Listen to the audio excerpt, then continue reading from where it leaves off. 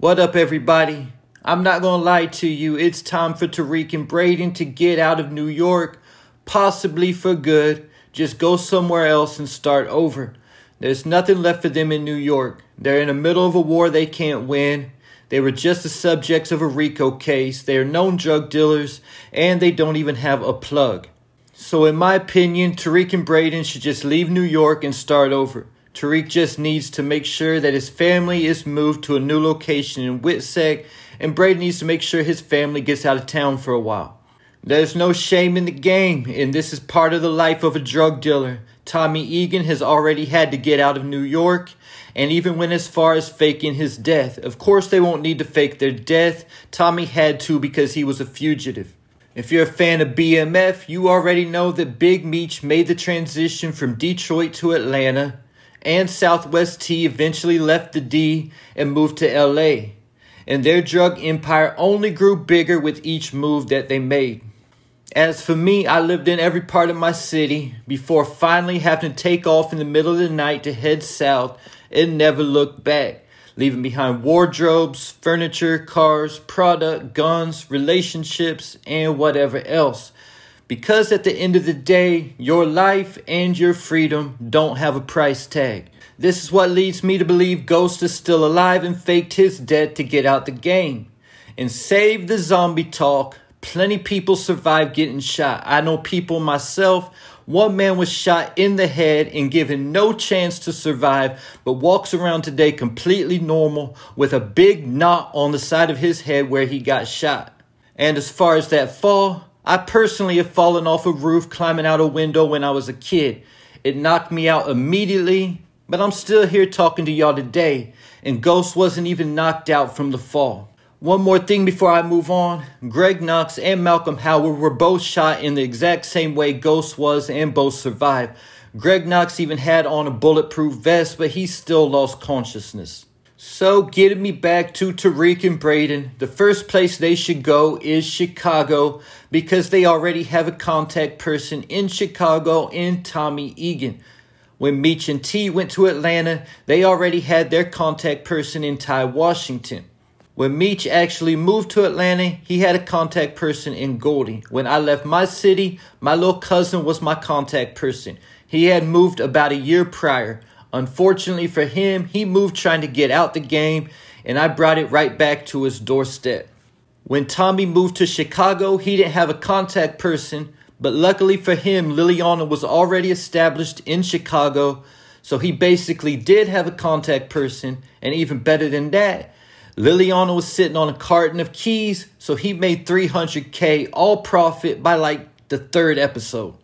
But when you think about it, Tommy wasn't really even supposed to be going to Chicago. He was supposed to be going to LA, where he did have a contact person. I can't remember his name. Someone let me know the name of Tommy's LA contact in the comments.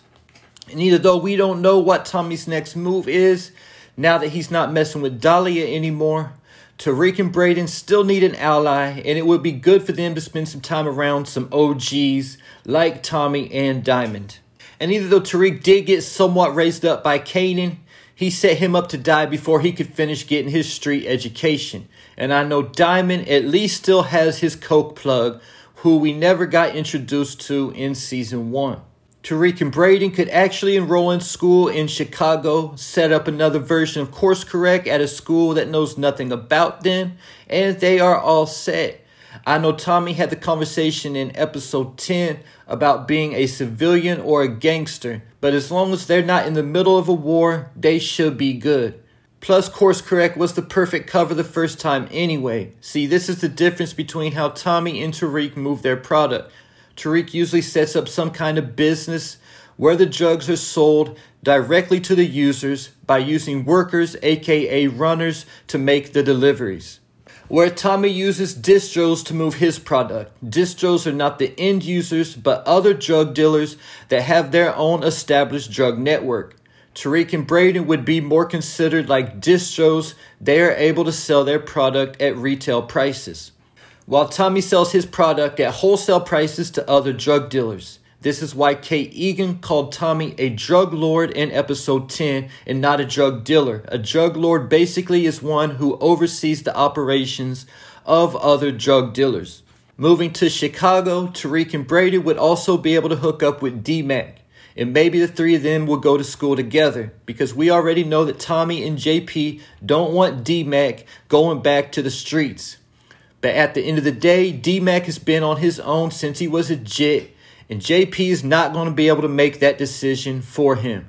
So going to school and working with Tariq and Brady on the Course Correct app may just be the perfect compromise. At the same time, after going to Chicago, regrouping, and getting a new plug, they just might want to branch off to their own city to take over.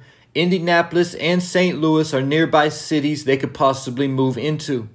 At the same time, they could head west or south but Indy or St. Louis would be best because they don't want to be all that far from their plug.